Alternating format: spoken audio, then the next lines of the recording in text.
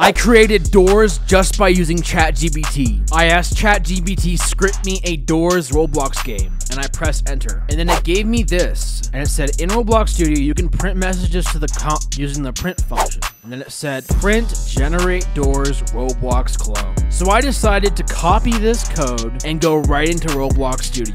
Now that I'm in Roblox Studio, let's create a script in server script service, and let's copy our code. So this is basically going to generate doors. So let's click play and see what happens. Oh my gosh. How did we do that? I didn't know that would actually work. Thanks, ChatGPT. I'm really stunned, and this is why